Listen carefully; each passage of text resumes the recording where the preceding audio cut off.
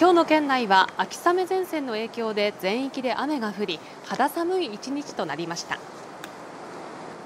郡山市の JR 郡山駅前では長袖の上着を羽織る人の姿が多く見られました。寒いですねなんか秋になったみたいで。なんかついこの間まで8月だったのに。長袖でちょうどいいぐらいだなっていう気候だと思いました。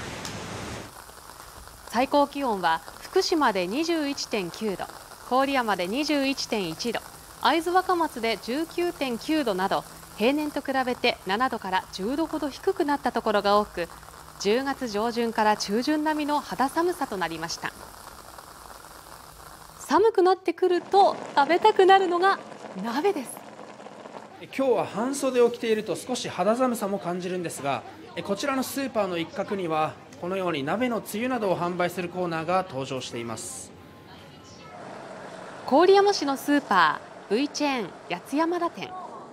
この店では先月下旬から鍋つゆやおでんの素を販売するコーナーを設けています。今年は厳しい残暑が続いた影響で例年よりも品出しを遅らせていましたが今日から売り場を大きく展開しました。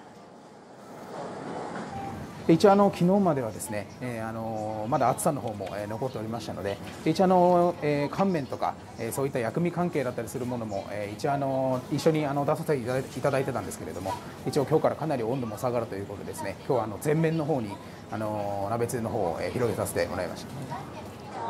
またコロナ禍で一人鍋の需要が高まると見込んでいて小分けの鍋つゆを例年より多く入荷する予定だということですタイプというものもですねかなりあの売り上げが上がると見込まれておりますので今年はですね例年の3倍ほどの発注量を当店の方で考えておりまして同時に展開していきたいと思っております。